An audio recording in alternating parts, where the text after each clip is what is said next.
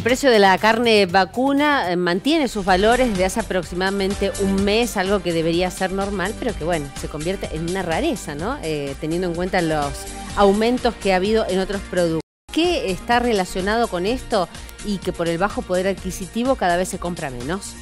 La sequía que se vive en sectores ganaderos obligó a los productores a faenar animales antes de su engorde y por esa razón el precio de la carne de vaca no ha tenido variaciones desde hace aproximadamente un mes. Se ha mantenido, gracias a Dios se ha mantenido hace como un mes que se ha mantenido.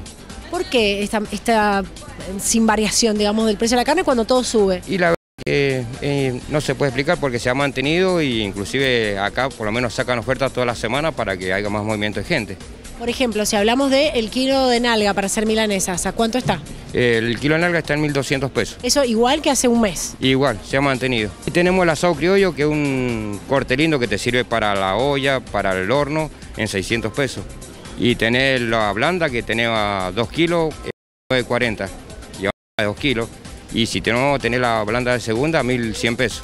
Sin embargo, por el bajo poder adquisitivo y a pesar de la estabilización de su precio, sigue siendo cada vez menor el consumo de carne vacuna. En tres semanas te lleva mucha oferta, asado criollo, molida, algo para estofado.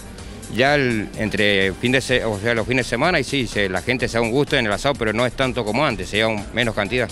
Sí, se, se nota que compra menos la gente, lo justo y necesario te compra. Eh, si un asado, ponerle, te llevan 3 kilos, ahora te lleva un kilito y medio, se, se mide el bolsillo ahora más que todo. ¿Han bajado ustedes el consumo? Por supuesto, sí. ¿Por qué? Y por el precio, imposible. Antes, qué sé yo, en épocas malas también se comía carne todos los días.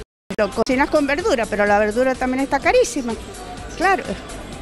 Y bueno, se las arreglo con carne molida, sí, dos veces por semana, tres, a lo mejor un domingo.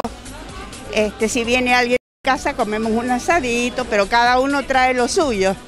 Sí. Para abaratar. Ahora, ahora no se puede una sola persona. Mira, desde que entré acá y vi los carteles, vengo acá y compro calidad y precio.